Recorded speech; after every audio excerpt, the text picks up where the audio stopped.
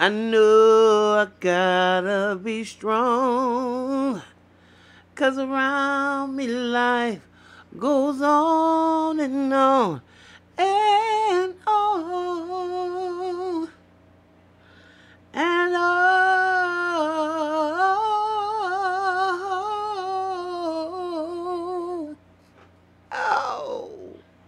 You know what? Good morning, good afternoon, good evening, family. I ain't even gonna go there. I am so disappointed. Welcome, welcome, welcome to the Mental House with me, your host, Khadijah.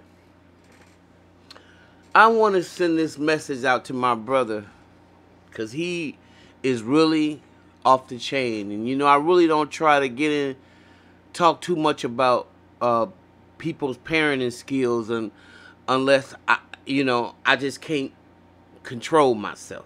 I have to make a comment. And when I see you abusing your children, I don't care if they're adult children. I don't give a damn. Because, see, sometimes it's the damage that you do when they're small that allow them to grow up into adults that are damaged because of your lack of parenting skills and your inability to care about somebody other than yourself. Okay, and if I gotta eat it, and if everybody else gotta eat it, then you ain't no exception, brother. Brian McKnight. Let me say this to you. First of all, I'm gonna start with your girl. You were very inappropriate. Very I don't know what you even getting on the internet for and trying to backtrack and backtalk because you really look like a fool right now. And I'm just gonna have to keep it real with you, brother. You sound like a fool. You sound like you are hell bent on trying to stick a spear through your children's hearts. These are individuals that you are responsible for putting on the face of the earth. They wouldn't even be on the earth if it wasn't for you. And you don't have no more respect for them because they spending your damn money. Listen, it ain't going with you no way. When you lay that body down to die, guess what?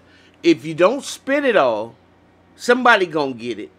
And you already know them people gonna get it back. Cause every time I sit up here and listen to these commercials on TV, in between videos, and these are songs that I know damn well them people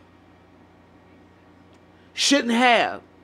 Because the authors of these songs, I'm sure they they offspring and children ain't getting nothing. Okay? and you don't give a damn about leaving your kids in that situation, your adult children, I don't give a damn. And for you to insult them, insult your sons by saying, and your grandson, because again, if it wasn't for you, he wouldn't be on the earth. He wouldn't even be walking among stuff if it wasn't for you. Okay? Bussing and making them young men. They're young men now. But they was babies once. Okay? That you screwed up on. And now because they're not doing what you want them to do or because you that's a straight narcissist. And I can speak on this because you know what? I had a I I I was estranged and I and I know that that that God brought the situation full circle. Because a lot of y'all know who followed me that I was estranged from my father for 30, like, like 32 years or so. He told me he was not going to speak to me anymore because I didn't do what he wanted me to do. That's basically what it was. And I, in my opinion, as I become an adult now and fully grown, I know that he wanted to disassociate himself and be somebody else. And I was just really cramping his style. Ain't nothing I could have did that made him that angry. Nothing. This is my life. All you gotta do is say, oh, well, that's my offspring. I just don't mess with them like that. But to sit up there and say, I'm gonna cut you off and write you out my will and do all of this, that's a, a narcissist. That's a, a sick human being.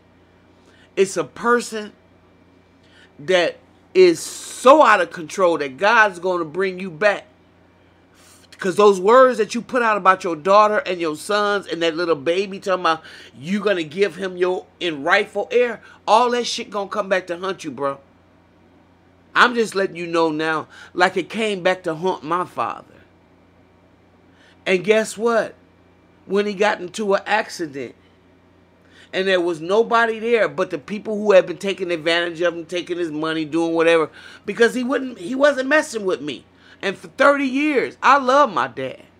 For 30 years I was estranged from him. Oh, he he he got mad at me when I was 30 years old.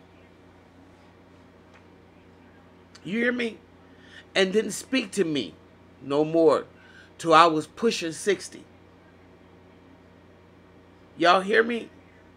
So I wasn't gonna go chase him because I didn't know I, I didn't know what to expect from him. I really didn't. I didn't want it to be a Marvin Gaye situation. Cause he told me he won't he don't he ain't gonna mess with me anymore and stay away from him. I mean, I, that was the most hurtful. Cause I thought he loved me. And I certainly loved him. But when he got in an accident, y'all, and nobody was there, my oldest brother, the one, the one that he sat there and his namesake, the one that they he used to buy stuff for his kids and wouldn't do a damn thing for mine. All that abuse and mental and emotional abuse I took from my father. And it got to the point where he was living in a house by himself. He needed a guardian. And wouldn't nobody fuck with him but me. Do you hear what I said? Because I love my father.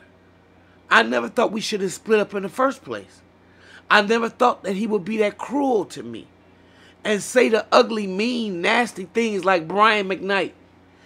I don't even know if he know how stupid he sound. He's you sound about as dumb as my father sound. He don't want to speak to me no more for the rest of his life and all this stuff. And he's responsible for me for having life. How how does that work? No matter what i've done short of murder somebody i don't deserve you to even speak to me. You want to wash your hands of me because i made some decisions for my life that had nothing to do with you All you could have did was keep loving me. And if you got as much money as uh, uh, uh, Brian McKnight got, those little few dollars you giving to your sons not gonna hurt you. You gave to your sons and your daughter, and now your grandchild. So now you don't mess with your grandchild because you think you are old, a young man now, because you, you done had a, a young baby. And I don't know what kind of woman you got that would allow. She don't got enough gumption about herself than to say, Brian, uh-uh. Don't don't do that. Cause now you you you gonna make yourself look bad. No. Because if you don't give a damn about yours, she don't really either. And don't try to make no excuses and talk about how much she loved them and how much she tried. Because you know what? If she did, she would support you and not getting on the internet and talking about your daughter's personal business like you did. She sued you. And if she left a million dollars on the table, it's because she didn't want to sue her dad in the first damn place. You are really out of touch, Brian McKnight. And I I'm down to my last cry about your ass. Because you're ruthless. And you better be mindful and careful how you treat them. BJ and um, the other one and Niko and, and, and your daughter. You better be mindful and careful how you treat them.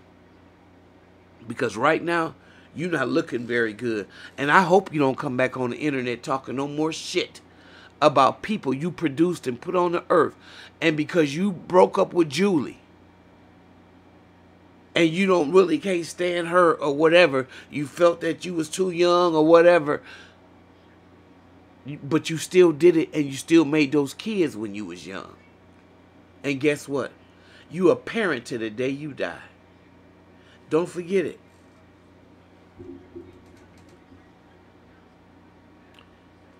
And